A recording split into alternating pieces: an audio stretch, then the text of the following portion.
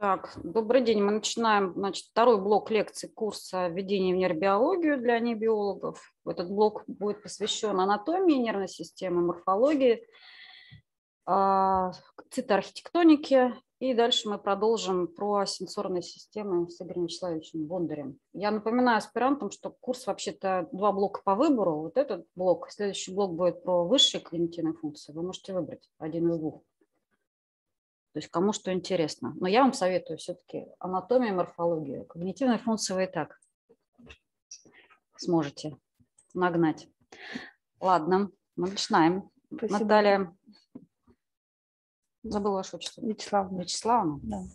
Не Валерьевна и не Владимировна, странно. Да. Хорошо, Вячеславовна. А, спасибо, Ольга Владимировна. Вот. Ну, я бы сказала, наверное, нужно и когнитивные, и морфологию учить, ну, а не только одно что-то. Итак, а, сегодня мы начнем лекцию с введения в общее строение нервной системы млекопитающих и остановимся подробнее на структуре, в первую очередь микроструктуре и функциях а, коры мозга. Итак, а в ходе своего развития э, центральная нервная система сначала образуется как нервная трубка, передний конец которой э, затем превратится в головной мозг, а, соответственно, а задний конец этой нервной трубки а, превратится в спинной мозг. А дальше в ходе развития на передней части образуются три так называемых первичных пузыря, которые затем а, а далее в ходе развития а, также немножко, можно сказать, распадается на пять пузырей. Собственно говоря, эти пять вторичных уже мозговых пузырей дадут основу э, пяти основным отделам головного мозга. Итак, давайте проговорим. Значит, три пузыря – это презенцефалон – передний мозг, мезенцефалон – средний и ромбенцефалон – ромбовидный мозг. Э, который, соответственно, а, передний мозг далее распадается, ну или разделяется, наверное, правильно говорить, на конечный а, мозг и промежуточный. А, соответственно, средний мозг так и остается, и ромбовидный мозг разделяется на задний мозг, в состав которого входит мост и мозжечок, и продолговатый мозг. И это мы можем видеть также на мозги а, уже взрослого человека, да, мы видим, у взрослого человека а, большую часть мозга занимает конечный мозг, куда входит а, кора мозга, а также базальные ядра. Промежуточный мозг, куда, как я говорила, входит таламус, небольшой средний мозг, задний мозг, куда входит мост и мозжечок, а, продолговатый мозг, и, соответственно, продолговатый мозг затем уже переходит а, из головного а, в спинной мозг. Это такой общий план строения, чтобы, если кто-то со времен экзамена забыл, то вспомнить. И теперь переходим, собственно говоря, к самой верхней и, наверное, эволюционно молодой части центральной нервной системы, к коре мозга. И на основе цитоархитектуры тоники а, а, кору мозга подразделяют на две такие основные части. Это аллокортекс и неокортекс. Аллокортекс, а, соответственно, состоит из трех-пяти слоев, и его подразделяют, в свою очередь, на архикортекс, к которому относится гиппокамп, и палеокортекс. Давайте посмотрим поподробнее на уже срезе мозга, корональных срезах мозга, а, где а, располагаются, собственно говоря, неокортекс, архикортекс и палеокортекс. Архикортекс – это одна из а, самых древнейших структур, и она имеет трехслойное строение, и в, у млекопитающих представлена гиппокампом, вот. В принципе, он имеет э, трехслойное строение, здесь, возможно, кажется больше, но э, из-за того, что он э, свернут на себя, то создается впечатление, что здесь может быть больше. Но если мы рассмотрим только часть, например, гиппокампа, вот эта вот область называется область С1, то здесь видно, что в середине проходит пирамидный слой, И а, сверху и снизу располагаются а, слои, где в основном располагаются отростки пирамидных а, нейронов, а также другие клетки. Но именно пирамидный слой, он такой а, плотный, а, и, соответственно, здесь располагаются пирамидные клетки. В принципе, палеокортекс, а, к палеокортексу у млекопитающих относятся области, а, которые связаны с обработкой информации, поступающей от обонятельных луковиц. Э, это обонятельный тракт, это э, переформенная кора передняя, задняя, и она, в общем-то, тоже имеет э, такое трехслойное строение в основном, то есть в середине располагается пирамидный слой, где располагаются пирамидные клетки, а снаружи от них находится молекулярный слой, и изнутри полиморфный слой. То есть э, он имеет такое тоже более-менее такое древнее строение, то есть когда, э, которое похоже на строение палиума у, до, у, у животных, которые э, в эволюции были до млекопитающих, ну, например, у рептилий, у которых тоже можно а, найти эм, аналоги. Вот, но, а, или даже гомологи. Вот, однако достижением именно в, э, в ходе эволюции, э, одним из достижений, которое произошло у млекопитающих, является появление неокортекса с его характерной шестислойной структурой которая занимает у млекопитающих иногда до 90-95% общей части коры и бесспорно обеспечила в том числе некоторое эволюционное развитие этих животных. Итак, здесь одна из а, самых а, старых, наверное, карт, а, репродукция одна из старых карт, которые были сделаны еще в те времена, когда карты рисовали скорее, нежели фотографировали. И, соответственно, на примере фронтальной коры можно рассмотреть как раз эти самые шесть слоев, причем а, а, различают иногда, ну не различают, они, наверное, дополняют друг друга, что в слоях а, можно выделить как цитоархитектонику, то есть особенности клеточного состава каждого слоя, так и миелоархитектонику, то есть особенность расположения волокон в этих слоях. Вот. И, соответственно, давайте э, вспомним просто, как называется. Я думаю, все примерно слышали, но тем не менее. Итак, а, верхний а, поверхностный слой, который а, находится на поверхности коры, ну, называется первым слоем, и, соответственно, здесь расположено в основном волокна, клеток очень мало. То есть они есть, э, но их немного. А второй слой а, – это а, наружный гранулярный слой, и здесь могут располагаться как клетки всякие типа звездчатых клеток, которые имеют, могут иметь округлую форму, так и мелкие пирамиды. Соответственно, дальше за ним идет пирамидный слой, третий слой, и, соответственно, здесь также в основном представлены пирамиды. А, далее идет а, четвертый слой, который представлен а, гранулярными клетками. Но гранулярная клетка на самом деле это такой какой-то общий термин, и под ним могут подразумеваться не только, собственно говоря, какие-то звездчатые клетки или какие-то другие, но и сюда входят и мелкие пирамиды. То есть нельзя сказать, что, например, в четвертом там, слое там нету пирамид, они там тоже есть. А дальше ганглионарный слой пятый и, соответственно, а, мультиформный а, слой, шестой слой, а, в котором располагаются клетки разной формы. Почему, собственно говоря, цитоархитектоника интересна? Потому что она напрямую связана с функцией, которую выполняет разные области коры. И э, если посмотреть внимательно на Э, цитоархитектонику разных областей коры, то можно заметить, что они отличаются друг от друга. И, собственно говоря, э, знаменитые да, поля Бродмана, они как раз основаны на а, цитоархитектонике различных а, полей, и уже к этой э, цитоархитектонике в том числе, ну не только, естественно, на основе цитоархитектоники, уже привязывались некоторые функции. То есть а, существует некая взаимосвязь между структурой функций, и чем интересно кора мозга, что эта взаимосвязь как раз довольно хорошо иногда прослеживается.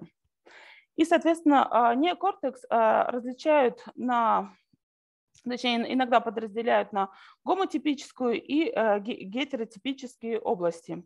Гомотипические области – это обычно различные ассоци ассоциативные области или вторичные, там, третичные области, а, в которых а, все слои более-менее а, представлены равномерно и, соответственно, такой как бы некий, имеют э, такое базовое строение.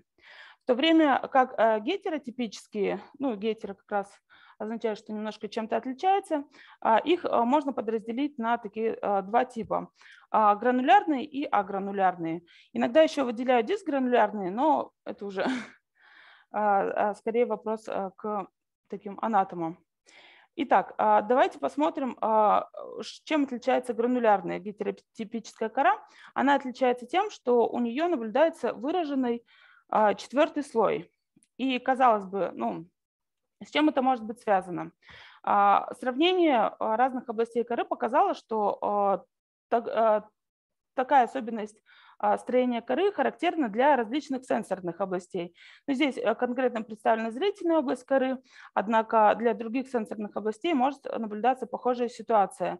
То есть это э, соматосенсорные области, э, слуховые области коры и так далее. И давайте посмотрим повнимательнее на примере как раз соматосенсорной коры, в частности, так называемой бочонковой коры грызунов. Она еще называется по-английски barrel cortex и является довольно таким излюбленным объектом для исследования сенсорной физиологии. А в чем Итак, да, сначала посмотрим как бы общий план строения такой анализаторов, да, э, скорее вспомним. То есть а, его суть заключается в том, что у нас сначала есть некие а, периферический отдел анализаторов, да, то есть это нейроны, которые а, реагируют на а, стимулы. В частности, здесь это нейроны, чувствительные нейроны, которые реагируют на, например, на прикосновение к каким-то вибрисам на мордочке грызунов. Затем идет переключение в стволе мозга, и, соответственно, затем идет переключение в таламусе. Вообще особенностью Э, тоже центральной нервной системы млекопитающей является то, что а, практически все а, области а, неокортекса, они связаны так или иначе с таламусом. То есть таламус является у млекопитающих таким основным переключателем поступающей э, информации, ну иногда и частично исходящей информации тоже из коры. И, соответственно, а, почему этот объект является излюбленным? Потому что для, каждого, э, для каждой вибрисы на мордочке грызуна существует определенная а, область а, в этой самой barrel cortex, в этой бочонковой коре, и таким образом можно изолированно изучать физиологию проведения сигнала от периферии до центрального отдела анализатора. И здесь мы переходим к тому, что Э, как раз почему э, четвертый слой так выражен в сенсорных областях. А, дело в том, что именно в четвертый слой поступает основной э, сигнал из сенсорных областей таламуса. Ну, в данном случае это вентропостеромедиальное ядро таламуса, а, да, в котором происходит переключение информации от вибрис. И, соответственно, здесь, да, здесь происходит разветвление. Если встроить а, а,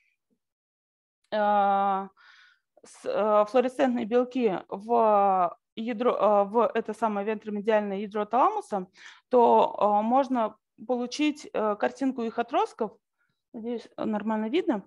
И видно разветвление, максимальное разветвление именно в четвертом слое коры. То есть э, четвертый слой является основным таким входом от таламуса в кору. И поскольку а, сенсорные области коры а, занимаются в первую очередь обработкой поступающей информации, особенно если это касается первичных сенсорных областей, а, то, соответственно, четвертый слой часто начинает именно расширяться. Здесь это не так выражено, например, в зрительной коре. Иногда в четвертом слое выделяют там до, до трех подслоев, в каждой из которых происходит немножко разделение поступающей информации. Вот. Однако стоит отметить, что Э, не только, естественно, а, в четвертый слой поступает информация, но и немножко в другие слои. И еще можно заметить, что из другого ядра а, таламуса, а, заднего медиального ядра таламуса, отростки приходят не в четвертый слой, а в верхнюю часть пятого слоя. И, а, а также в первый слой. То есть, хотя четвертый слой является основным входом, но иногда информация может поступать и в другие слои. А, и таким образом а, происходит а, поступление разной информации. На самом деле здесь получается, что информация, которая поступает от вентрального от вентропостеромедиального ядра таламуса, она является такой специфичной и локализованной, в то время как и еще она называется мономодальной, когда вот именно инфо, вот такая вот локальная информация.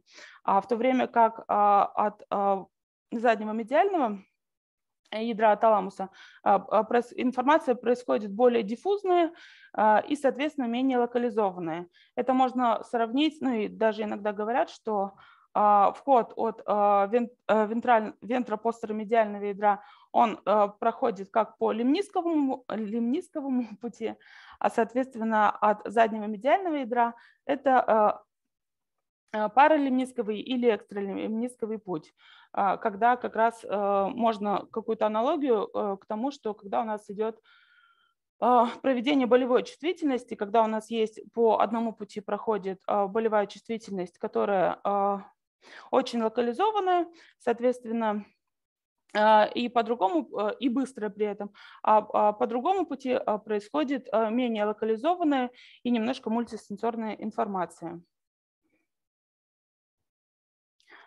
Соответственно, когда сигнал приходит в четвертый слой коры, он дальше распространяется уже по другим слоям. Это верхние слои, второй, третий слой, это в пятые слои и так далее. То есть э, это такая общая э, схема строения, которая наблюдается, ну, с, конечно, с некоторыми исключениями, но в целом подобные ситуации наблюдаются в сенсорных областях коры. Так, ну и здесь а, тоже такая схема. То есть э, здесь как раз показано, что эта схема, например, а, наблюдается как в соматосенсорной области, а, так и в зрительной коре, просто а, там идет переключение через ядра, а, через разные ядра таламуса. Ну, соответственно, а, а в зрительную кору информация при, а, приходит а, из латерального коленчатого тела, ну, которое, собственно говоря, тоже относится таламусу. И а, когда информация приходит в первичные области, она далее может а, распространяться а, и в различные вторичные области и так далее для того, чтобы там происходила более высокоуровневая обработка сигналов.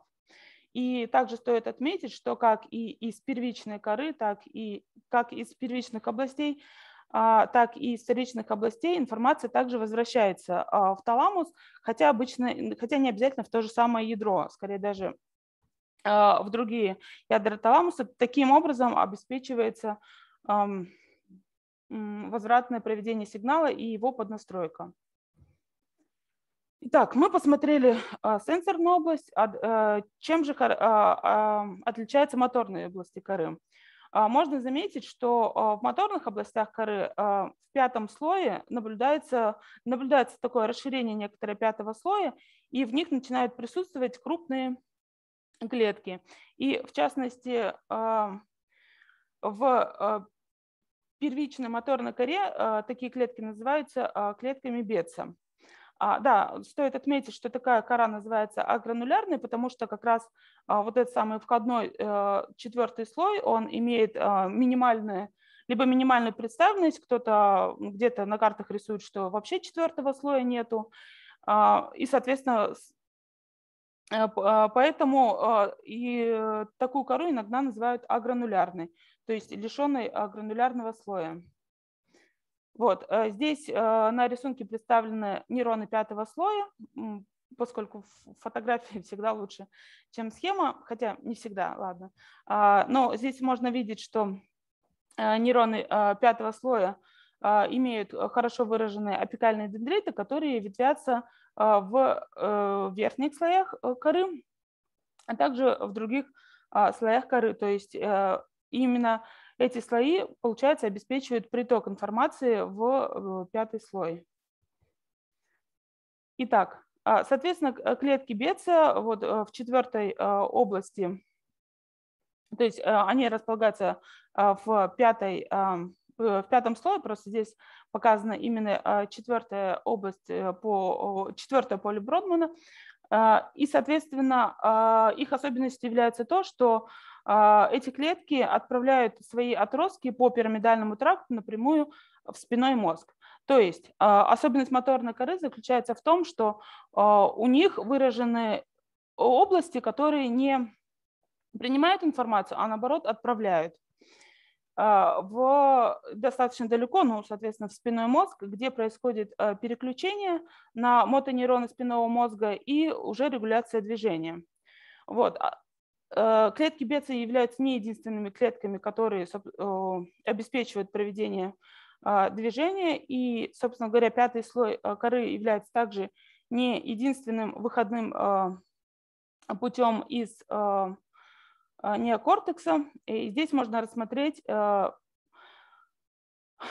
разнообразие таких клеток, которые обеспечивают выход из коры мозга в другие области. И их иногда подраз... такие клетки располагаются в первую очередь в пятом и шестом слое, если мы говорим о э, связях э, с внекорковыми связями. Э, есть еще второй, третий слой, который обеспечивает в том числе внутрикорковые связи, но к ним мы позже подойдем дальше. А, и, соответственно, нейроны пятого, такие проекционные нейроны пятого, шестого слоев коры, их иногда подразделяют на внутри а, теленцефалические и а, экстрателенцефалические. То есть а, те, которые остаются в пределах конечного мозга, чьи отростки остаются в пределах конечного мозга, и те, которые покидают эти пределы. И, например, здесь рассмотрены Э, нейроны пятого слоя, а, которые покидают пределы а, конечного мозга. Хотя эти же нейроны, эта же подгруппа нейронов может и также и внутри конечного мозга а, формировать связи и отправлять свои проекции, но и отправлять свои отростки, например, то, что мы уже говорили, в, к спинному мозгу, а также а, к области покрышки, в мозг, ствол мозга и так далее. То есть а, это такой один из основных э, источников проекции из коры в подкорковые структуры.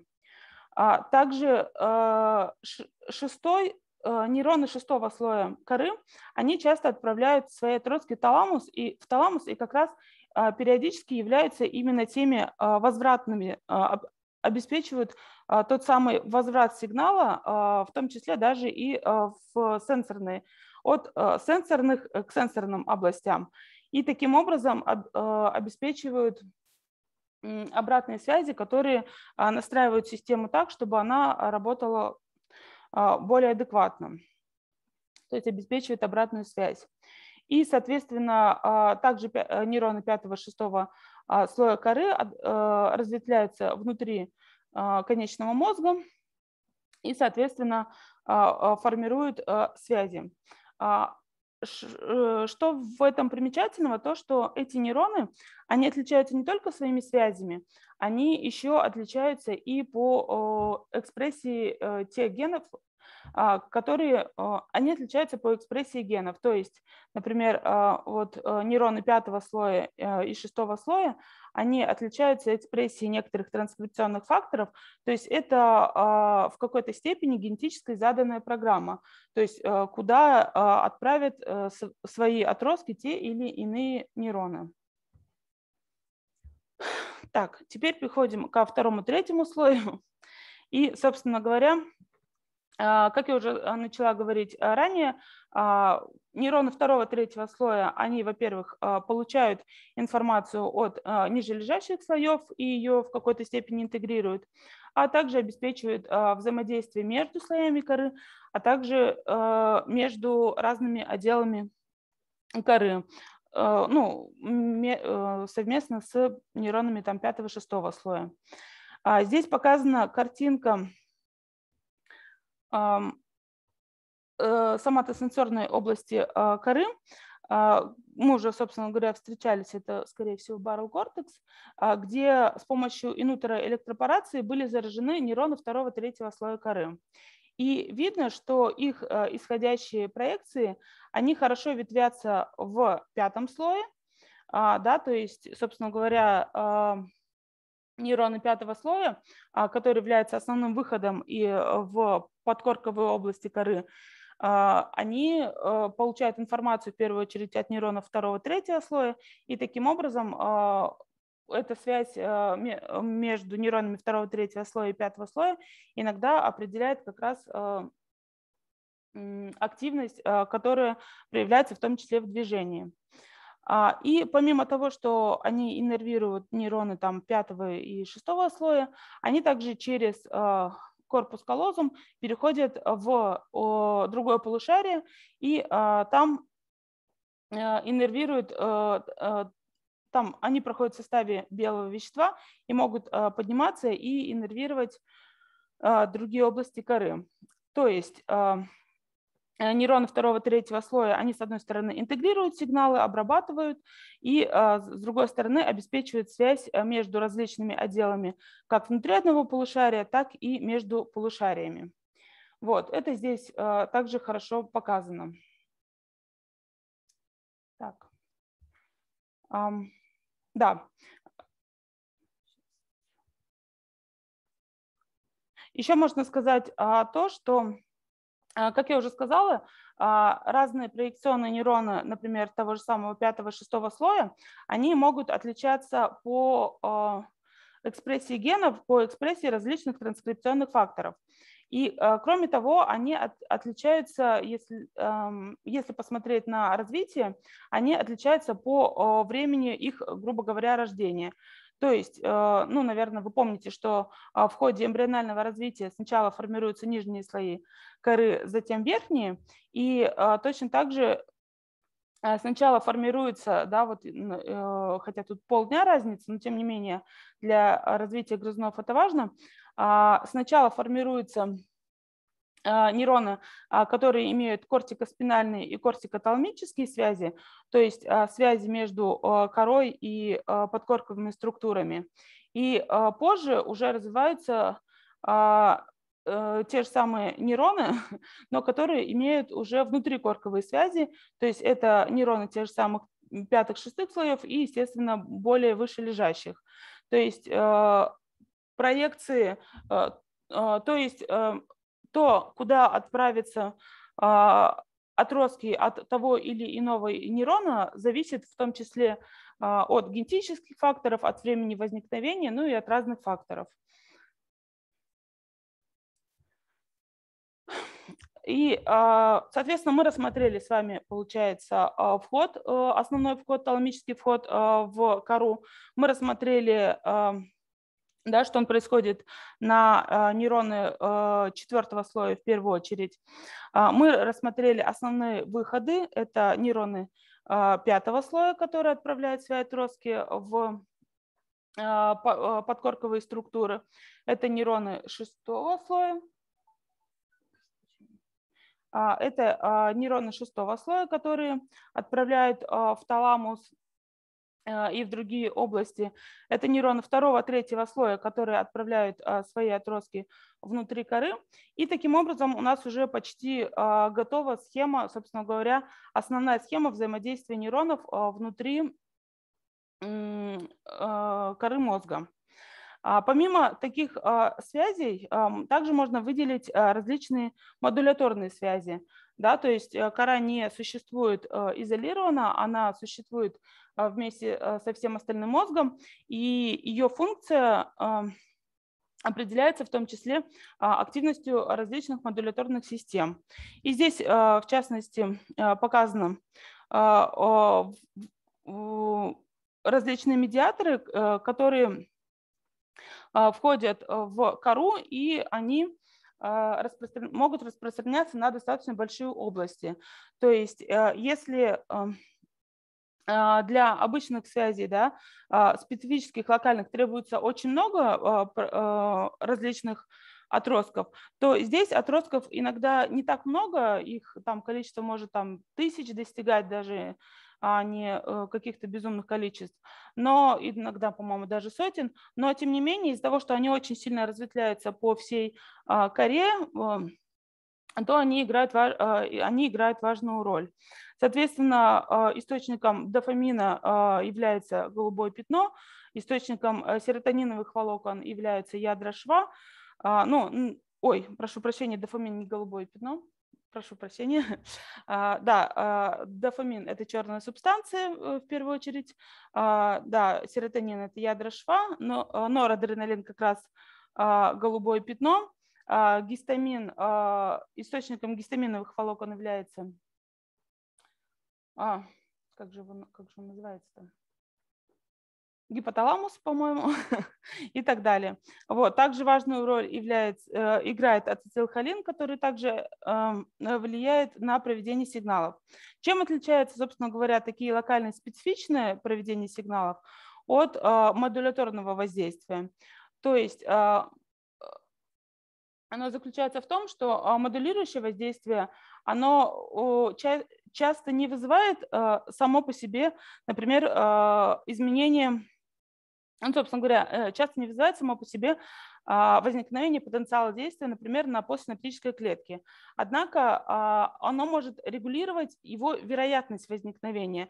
То есть оно может таким тоническим образом а, регулировать мембранный потенциал. Да, соответственно, проведение потенциала действия будет зависеть от, собственно говоря, мембранного потенциала. И если какие-то тонические действия каких-то модуляторов приведут к тому, что мембранный потенциал у каких-то клеток будет немножко уменьшаться, э, то тогда это, естественно, затормозит проведение сигнала. То есть а модулирующее действие, оно заключается в том, что у вас не а, получается, проведение сигналов не находится в двух, э, в двух состояниях, там 0, 1, а оно, получается, влияет на вот эту вот вероятность. А, либо у вас сигнал пройдет, либо нет, и, соответственно, то есть оно именно меняет э, вероятность проведения сигнала. И при этом а, такое воздействие распространяется сразу на достаточно а, крупные области коры, и не только коры, и это а, определяет немножко, получается, состояние больших областей мозга.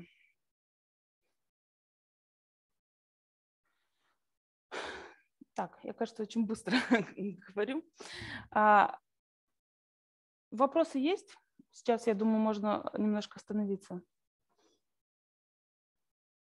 Ладно, все все, все знают. А, хорошо.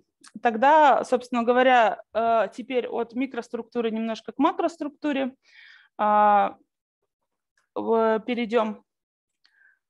Э, и, соответственно, если посмотреть не на а, микроструктуру, а на макроструктуру, то здесь э, можно выделить несколько долей, которые да, а, в, а, а, в каждой доле располагаются различные области. Центральная борозда разделяет лобную долю от, от теменной, и в лобной доле располагаются различные ассоциативные области, в частности, например, префронтальную кору, а также моторные области, например, первичную моторную кору, о которой ранее говорили. За центральной бороздой располагаются теменная доля, где расположены соматосенсорные области,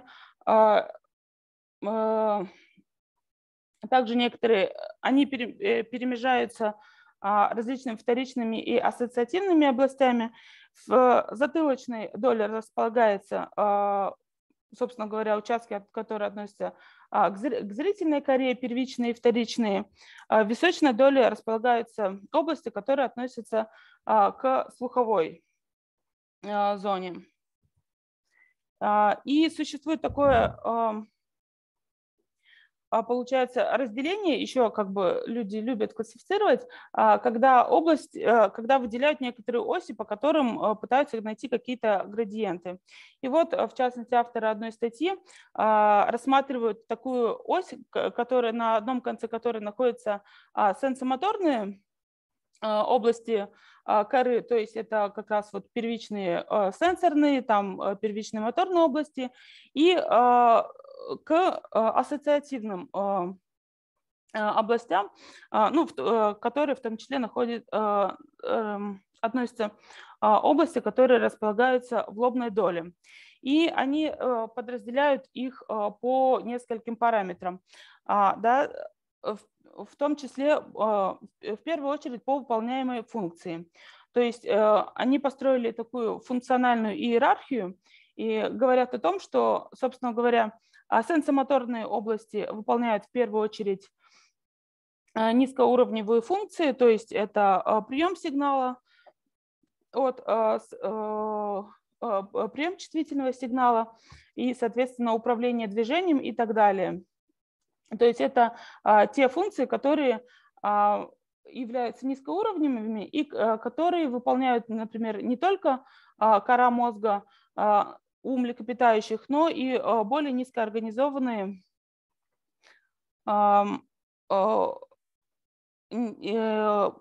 более, а, области мозга у более низкоорганизованных животных. Вот. В то время как при движении к более ассоциативным областям коры мозг начинает выполнять более высокоуровневые а, функции, которые связаны с обработкой сигнала, с выделением а, каких-то а, образов, связанные с вниманием, с развитием языка, рабочей памятью и сознание и так далее. То есть при движении к, ко все более и более ассоциативным как бы, областям наблюдается, во-первых, мозг начинает выполнять как бы более высокоуровневые а, задачи, и а, авторы находят также а, корреляцию между по этой оси с процессами, которые происходят в мозге. В частности, например, они указывают, что в более высокоуровневых областях наблюдается более высокая скорость метаболизма, в частности, например, аэробного гликолиза. А, также э, в них э, повышена э, скорость кровотока. А, также они отмечают, что в, при сравнении именно вдоль этой оси различных областей наблюдается изменение в экспрессии различных генов.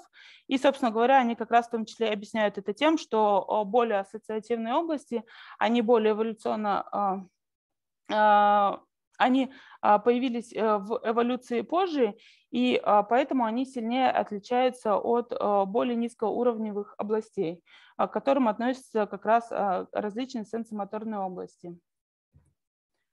Так, да, я совсем быстро, ну почти что закончилась. И, соответственно, еще немножко про ассоциативные области и такой, на мой взгляд, немножко забавный вопрос. Существует ли префронтальная кора у грызунов? А, как мы только что говорили, а, а, в ходе развития э, в эволюции, особенно если рассматривать, там, сравнивать грызунов и приматов, происходит резкое развитие ассоциативных областей и в том числе формирование более высокоуровневых зон обработки информации, например, расположенных в лобной доле у человека или в передней части мозга, фронтальной части у грызунов.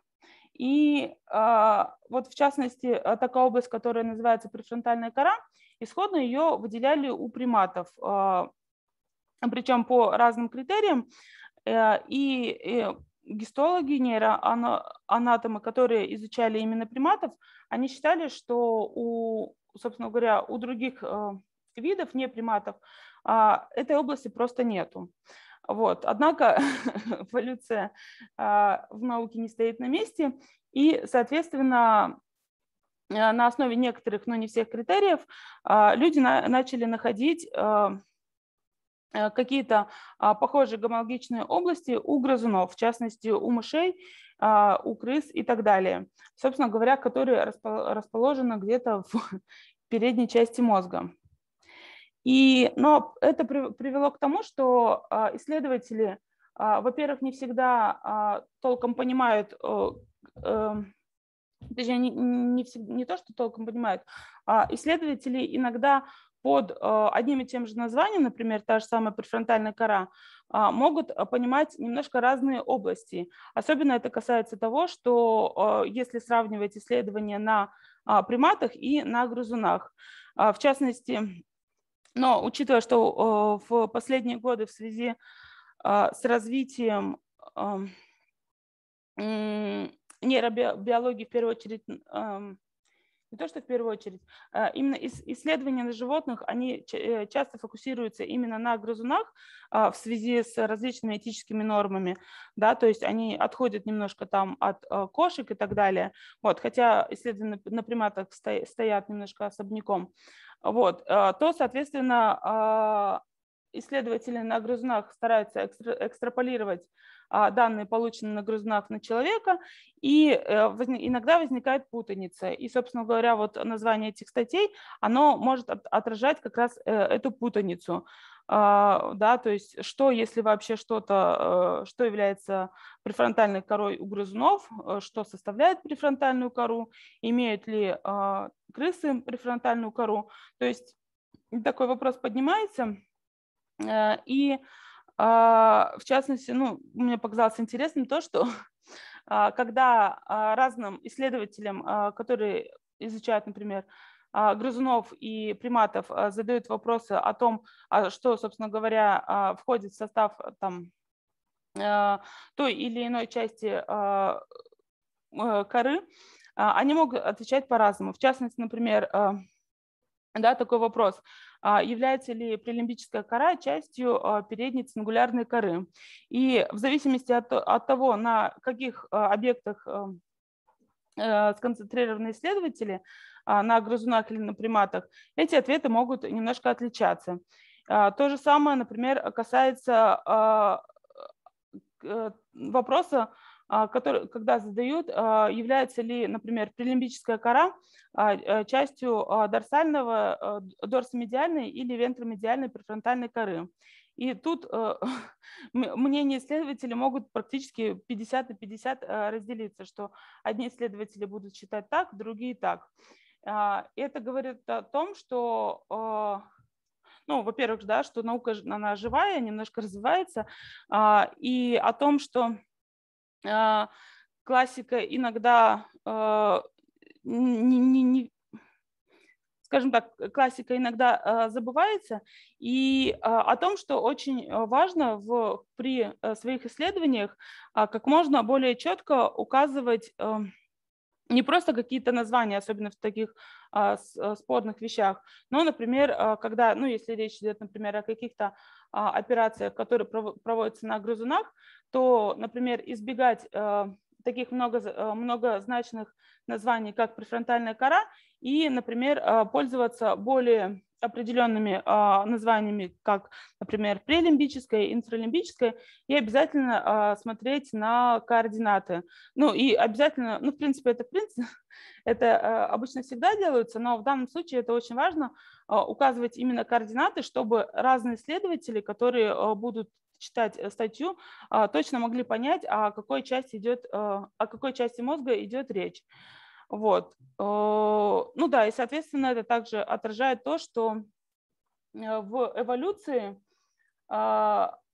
происходят такие изменения, что иногда не очень понятно, какие области являются гомологичными, какие аналогичные, какие аналогичными, и как экстраполировать одни части мозга, например, у тех же самых грызунов, на другие части мозга у приматов. Так, все, у меня все. Хотя я очень быстро закончила. Вот, но, возможно, да.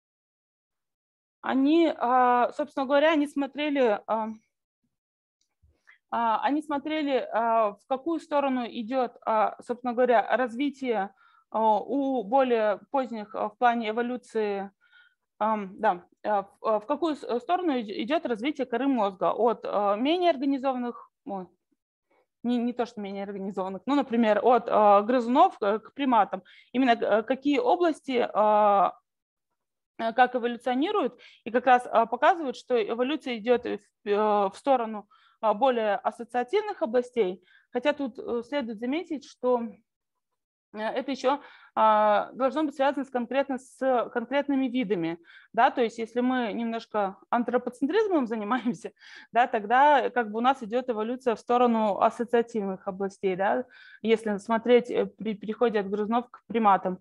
Вот. Для других видов это может быть не совсем так.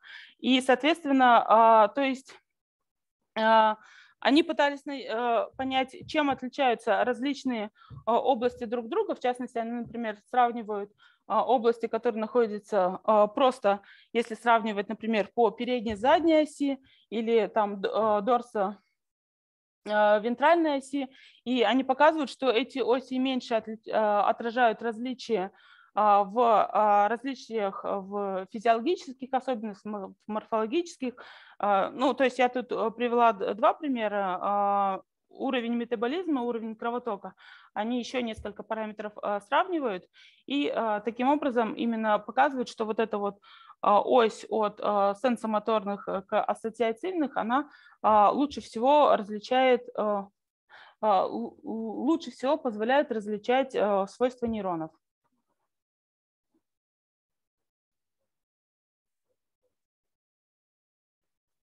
Так, вот это?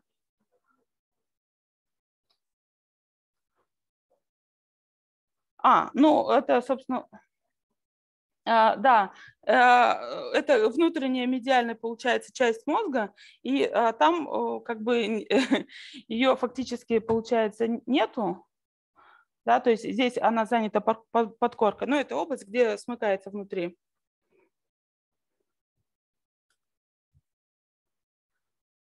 Да, здесь э, многие данные как раз, э, по-моему, насколько я поняла, с помощью э, именно на основе ФМРТ.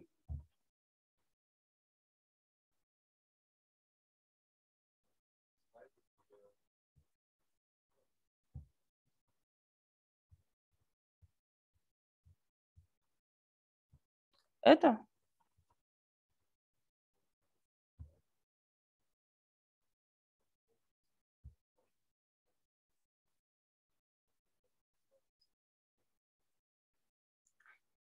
Нет, это а, вводили вирус в ядра таламуса, в разные ядра таламуса, в частности, вот вентропостеромедиальное ядро таламуса. Эти вирусы экспрессируют а, флуоресцентные белки, которые распространяются по отросткам и достигают, а, собственно говоря, разных отделов коры.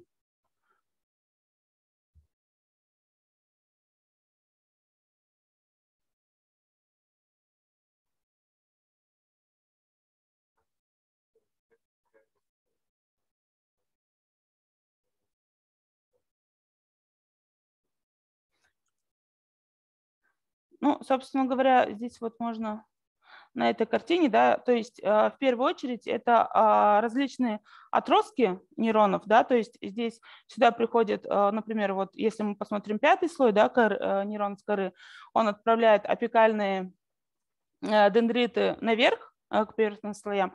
И здесь как раз в первом слое происходит активное ветвление. Да, то есть это, естественно, касается не только пятого слоя, но и сейчас второго, третьего слоя, которые то, также апикальные дендриты которых идут вверх и часто ветвятся в первом слое коры. Вот. Также тут присутствует небольшое количество клеток, ну, таких, не, это обычно не пирамидные клетки, такие какой-то немножко местами странной формы, в том числе некоторые ингибиторные нейроны, есть некоторые специфические э, клетки для первого слоя коры, но в целом именно клеток там э, уже немного. То есть в основном там как раз э, происходит встреча между отростками нейронов, там проходят некоторые волокна, которые контактируют друг с другом. И сейчас а, я, наверное...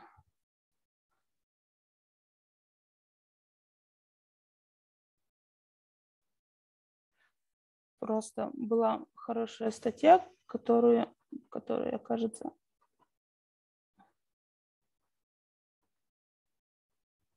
Да, у меня тут ссылки нету, находила, а, именно в верхних а, слоях, и а, там происходит, там располагается часто больше рецепторов, которые обеспечивают да, передачу сигнала, чем в нижних слоях. То есть в разных слоях коры там не, не только там разные там типы нейронов и так далее, но эти разные слои коры еще отличаются и представленностью и плотностью рецепторов. И вот в верхних слоях эта плотность часто она как бы выше.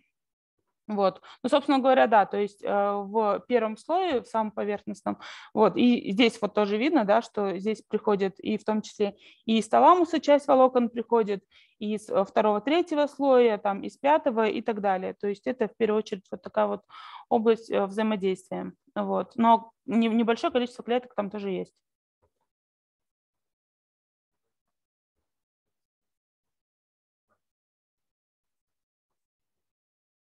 Ну, они и, восп... и, и, и передают, и воспринимают, потому что туда еще проходят а, коллатерали и от аксонов. А, так, сейчас, давайте. А, да, аксоны часто не рисуют, поэтому...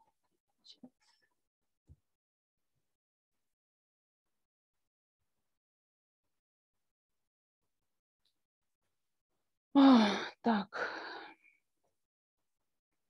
А, ну вот, собственно говоря, да, вот тут вот изображено, а, что а, сюда, во-первых, также э, в первые слои Да, вот, получается, а, кортико-кортикальная афферентная терминале. То есть э, сюда, в том числе в самые верхние слои, приходят из других областей коры, в том числе аксоны. И, ну, собственно говоря, так, как бы не наврать, конечно. Да, да, да, конечно.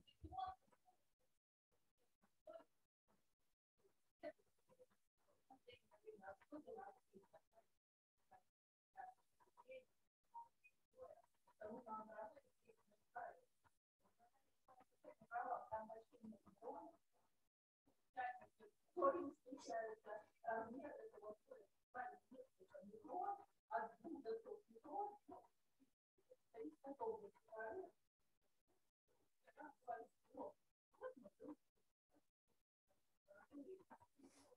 много много лет работы. И это слой, в котором находятся дебри и. Дебри –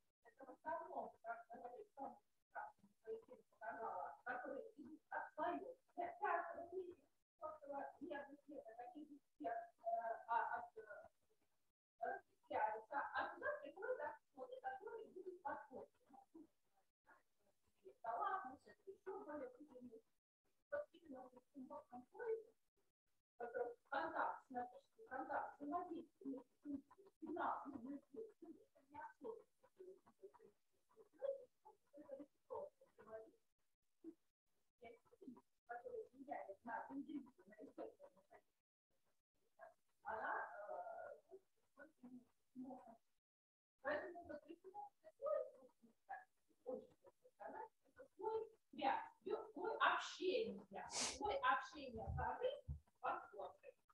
Потому что, ну, дублирует. Да? Понятно, на пятый слой, да, четвертый слой, там, это получше, да, пятый слой, поменьше, третий слой, поменьше информации, входящий слой, но максимум информации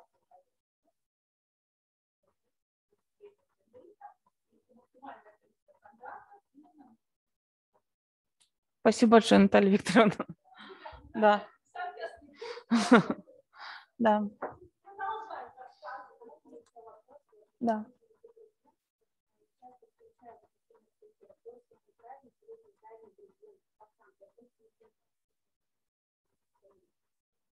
Так, ну именно про гиппокамп, если все нормально будет, то я расскажу на а, следующей лекции. Но могу пока эм, сказать, да. А, скажем так, гиппокамп, хотя выглядит такой более-менее одинаковым, да, то есть что на дорсальном, что на вентральном конце у него располагаются там все зоны, да, где у нас был да, э, то есть, э, в принципе, такая структура более-менее сохраняется, хотя она немножко а, все равно отличается от а, дорсальной части к вентральной. А, в первую очередь, этот градиент эм, отличается тем, что он имеет немножко разные входящие сигналы. То есть дорсальная часть гиппокампа, она в первую очередь получает информацию от а, энтеринальной коры, так, такую как бы э, информацию о пространственной э, структуре, а, в то время как вентральная э, часть гиппокампа, она а, получает информацию от многих как раз подкорковых структур, в том числе, например, от миндалины, от гипоталамуса, и иногда говорят о том, что, иногда говорят о том, что дорсальный гиппокамп – это как бы за пространственную, за интеграцию пространственной информации, а вентральная часть гиппокампа связана с, эмоцион, ну, с эмоциями. А, вот, и именно вот эта вот а, разница в связях, а, ну, в том числе разница в связях в дорсальном и вентральном как раз говорит об этой оси. Вот. Ну, кроме того, вы, возможно, слышали, что э, э, гиппокамп э, связан э, с э, картами, э, которые располагаются в энтеринальной коре, и э, вдоль а, дорсовентральной оси а, происходит следующее. То есть если а, в дорсальной части э, координаты как бы более мелкие, да, то есть э, э, связаны с, с меньшими решетками интеринальной коры, то, боль, то при движении в вентральной области размеры этих решеток они увеличиваются.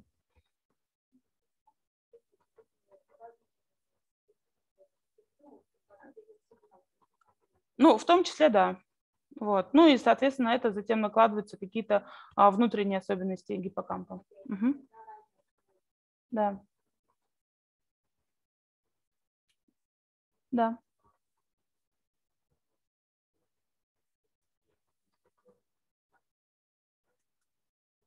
Это, это корональные.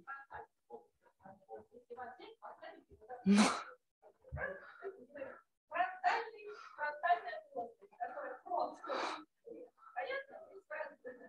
это, это же синонимы, да, корональные и фронтальные. Да, да, я просто, да.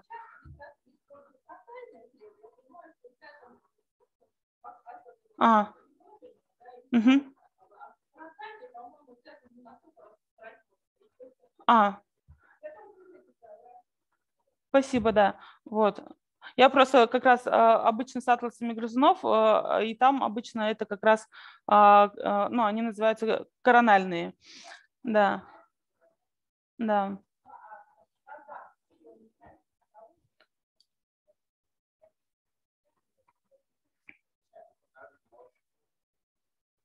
Да, это мозг грызуна. Это я взяла картинки из э, этого, как он называется, Allen Brain Atlas, мозг мыши.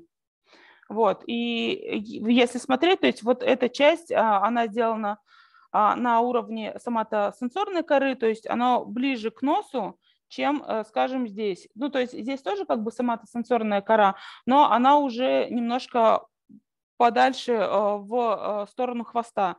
Да, то есть вот, вот, вот эта картинка ближе к носу животного, это картинка уже в сторону ну, да, хвоста.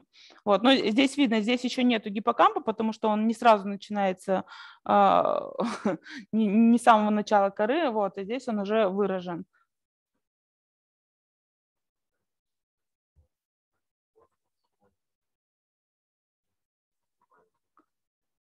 Ну, в целом, как бы, да, особенно как бы на это название намекает, но э, вот здесь я, честно говоря, пыталась, э, да, э, хорошенько в этом разобраться. Э, в целом, э,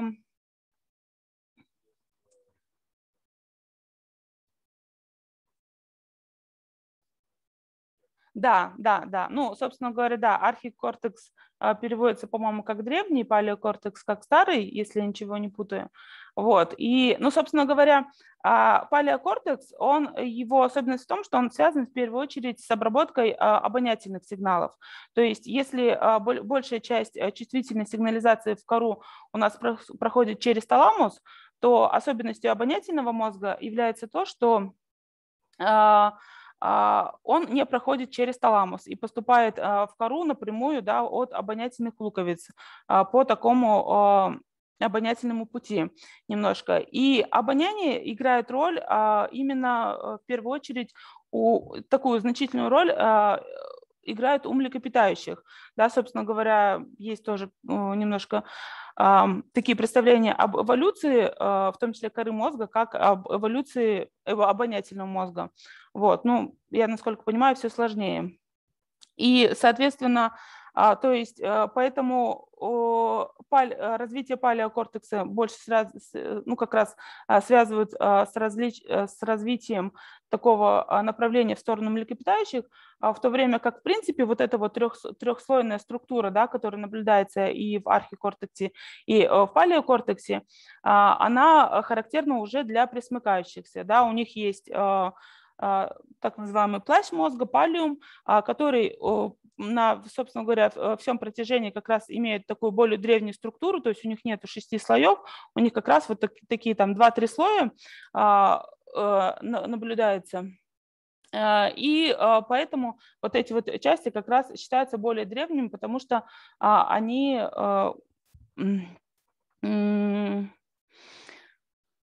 они, а, а, они, они как раз а, соответствуют, то есть ну, больше похожи на ту структуру, которая наблюдается у присмыкающихся.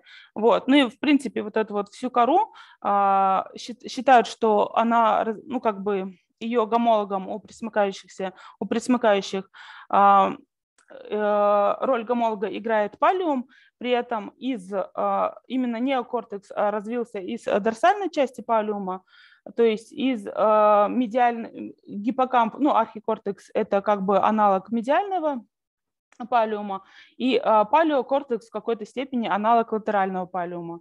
Вот, поскольку э, в ходе эволюции, э, ну, то есть, грубо говоря, гиппокамп, он тоже, он не представляет собой такую застывшую структуру, которая вот была там где-то, да, а она тоже, собственно говоря, эволюционировала вместе со всем мозгом, то, ну, как бы тут очень немножко сложно как бы говорить там, что древнее, что не древнее, вот, тем более некоторые вещи, да, э, исследования эволюции, они иногда немножко некоторые представления переворачивают, вот, поэтому, ну, эти термины, как бы они используются, но с осторожностью, вот.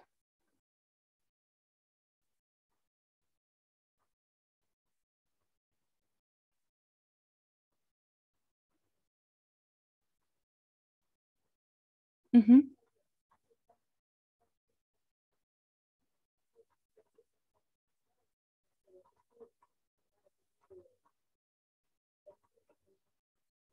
А, ну, как бы писать вам, конечно, ни, ни, никто не, не запретит. Вот, просто, да, вот даже а, в одной из статей как раз обзорных, они в целом как бы новые, указывается, что просто учитывая, что под префронтальной корой у грызунов люди могут понимать разные вещи, то, соответственно, когда вы говорите, вот там мы взяли префронтальную кору, а, это может а, означать разные вещи. То есть вы могли А, то есть а, люди, которые исследуют приматов, понимают под этим одно, люди, которые исследуют грызунов, понимают под этим а, другое. И, соответственно, на самом деле авторы этой статьи, например, они сравнивали разные атласы той же самой крысы, по-моему. А, ну, сейчас. Вот, например, да, там а, вопрос такой.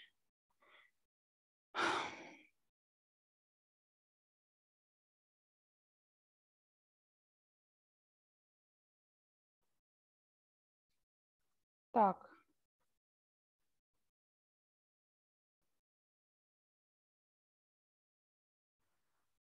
Um, сейчас, как бы это а, правильно ответить, что разные исследователи, например,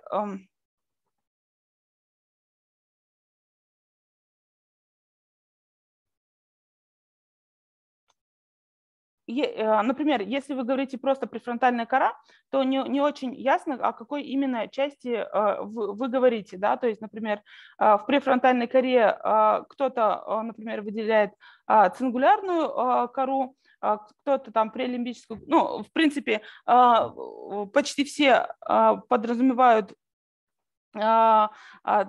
что преолимбическое и инфралимбическое относится к префронтальной коре. Просто у префронтальной коры обычно есть подразделения внутренние, и вот в этих подразделениях может быть путаница. И, соответственно, еще есть при сравнении префронтальной коры например, у приматов и у грызунов э, есть некоторые отличия. То есть у приматов э, в префронтальной коре э, есть области, где, уж, где появляется как раз гранулярный слой. Он немножко похож на гранулярный слой сенсорный, хотя не является как бы более-менее гомологичным. В то время как префронтальная кора грызунов, она является полностью агранулярной. И вот э, как бы если, ну, зависит от того, э, о чем вы говорите. То есть если вы говорите о том, что мы берем префронтальную кору, как, например, гомолог у приматов, да, чтобы там трансляция была а, от э, грызунов к человеку, это, ну, это нужно учитывать, да, что у, у приматов есть области, которых, в которых очень сложно найти гомологию у грызунов, в частности, например, по строению э, цитоархитектоники. Вот. И опять же, когда вы а, говорите о, о префронтальной, то обычно, кстати, часто не говорят э, именно просто префронтальная, говорят, например, там э, медиальная префронтальная кора там, или еще какая-то, и вот уже когда идут более дробные какие-то области, то может возникать путаница. Вот. Ну и в любом случае лучше всегда, ну то есть если речь идет о грызунах, то можно как раз вот пользоваться терминологией там прелимбическая инфралимбическая, она более, наверное, в чем-то более точно, ну и в любом случае нужно указывать э, координаты.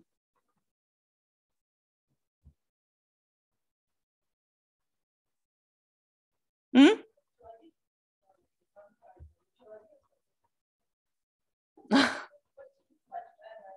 Ну, да.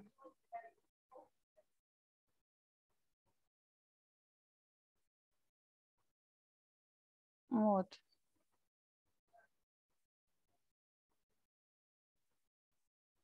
Да, спасибо.